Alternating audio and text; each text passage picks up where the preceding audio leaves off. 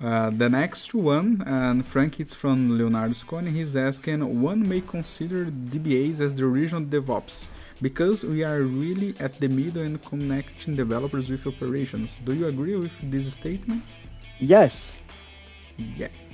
And then I will I will tell you uh, the hmm. first time I installed the database myself. So I mentioned that during the internship uh, I, I hmm. didn't, and, and we kind of failed because nobody knew about it.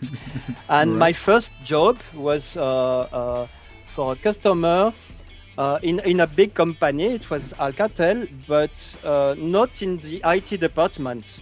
You know those companies where you have an IT department and and you have uh, a rebel area in another department where you have two or three people in uh, in the IT managing the local PCs and everything. Mm-hmm. They forgot and the word. it's called the IT team. yeah. Sometimes, right? and, and, and this small IT team, the, the responsible, and I learned a lot with him. Uh, wanted to build an application to help the, the in in the accounting, and instead of asking to the IT department for something that would take month and month and month, he wanted to do something more agile, even if it was not the term at that time. And uh, and we started with Paradox, and uh, then uh, uh, uh Borland came with uh, Delphi. You know the Turbo Pascal with the, the nice GUI, and I, I started to develop with the Delphi in, in the beta version Mm-hmm. And, and so we started to, to develop something, a client server with Delphi and an Oracle database, because this company was full IBM. The IT department was full IBM. And, and then this guy wanted to do something differently. He asked to Oracle to get uh, to, to get the software for free to try, and they asked uh, Sun for a server and of course, those companies wanted to, to do something in this company that was full IBM. And, and then this is where I got uh, to unbox the Sun server and install Oracle on it and, and, and do everything.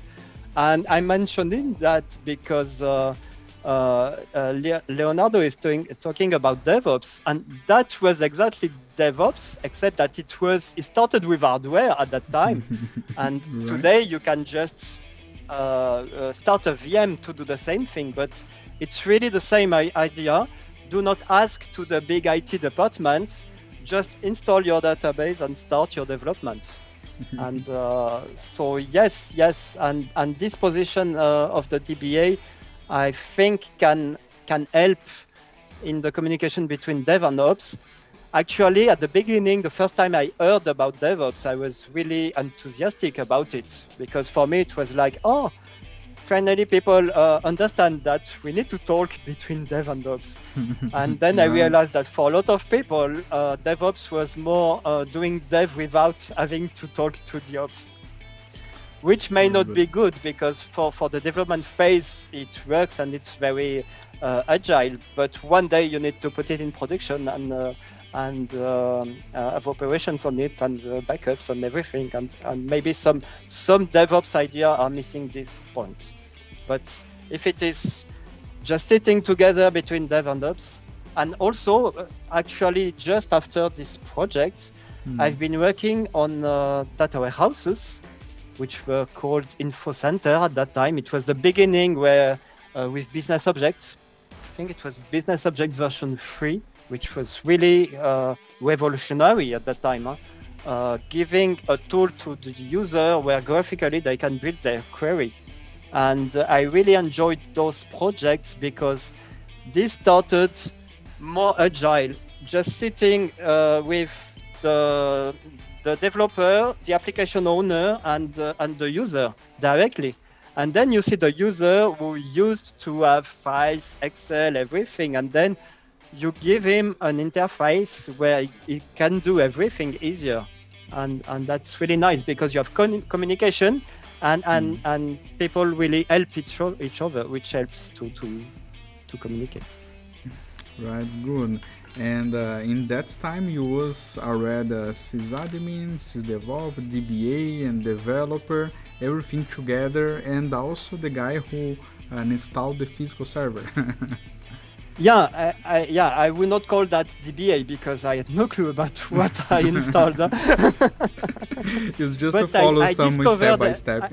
I, discovered everything. Like, I, I mean, that's something important. Even if today you can uh, provision uh, an autonomous database, it's important to install things. And I, I like to learn by installing things. Uh, for example, when you install a server, there is a point where you have the question what is the IP address, what is the subnet mask, and everything. And when you know nothing on network, it forces you to try to understand that.